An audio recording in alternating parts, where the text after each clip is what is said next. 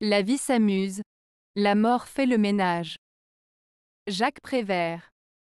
Cette citation de Jacques Prévert peut être interprétée de différentes manières selon les convictions de chacun. D'une part, elle pourrait signifier que la vie est pleine d'inattendus et de surprises, souvent joyeuses et amusantes, alors que la mort est triste et ne laisse pas de place à la joie.